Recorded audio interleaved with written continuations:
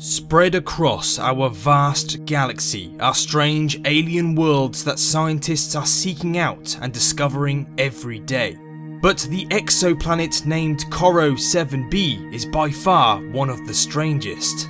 On Earth, we have seen some weird things fall from the sky, from blood coloured rain to tennis ball sized hailstones and even animals. But on Corot 7b, it rains magma and rock. This distant alien world is a colossal 489 light years away from Earth in the constellation of Monoceros. So strap in and prepare for hyperspeed as we have a long journey ahead.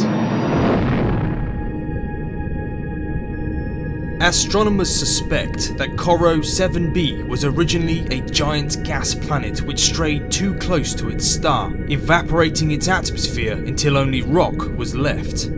Gas giant exoplanets that lose their atmosphere are classified as Chthonian planets. However, Corot 7b's past is still unknown, meaning that it is still classed as a super Earth. But this distant world is a long way from resembling our home. Instead, it is a planet from hell.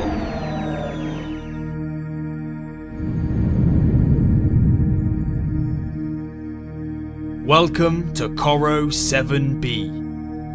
This strange exoplanet was the first rocky planet to be discovered outside of our solar system back in February 2009 by the Corot Space Telescope. A year on this nightmarish world only lasts 20.5 hours. It is nearly twice the size of Earth, about 5 times heavier, and has a similar density. But as you can see, this alien world is not a planet that humans will be standing on any time in the future, as it orbits so close to its star that its surface offers hellish extremes. The exoplanet is tidally locked, which means that the star side of the planet is constantly being scorched, reaching temperatures above 2000 degrees Celsius. But the dark side is fully exposed to the coldness of space, dropping to below minus 200 degrees Celsius. If we were able to stand on its surface, the star side would offer oceans of molten lava, cataclysmic volcanism, and the planet's host star dominating the sky as it slowly vaporizes the landscape. Whereas the dark side would be in perpetual nighttime, with mountains, deep valleys, and the occasional volcanic eruption that launches molten material into a freezing cold environment, which then cools rapidly and falls back as volcanic snow. But the strangest feature on Corot 7b is that its tenuous atmosphere is made up from vaporized rock.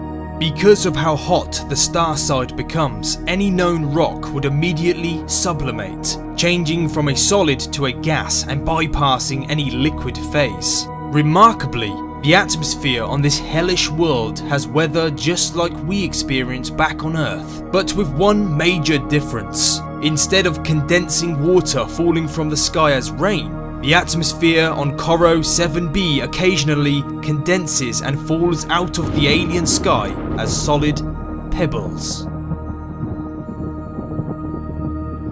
So, I hope you enjoyed your trip to this bizarre world, which surely tops the currently known list as the king of the lava planets. But where do you want to go to next? Maybe to see a star that is being consumed by a black hole, or what about an exoplanet that rains glass? Let me know in the comments section below and the V101 Explorer will take us there. Thanks for watching and I'll see you next time.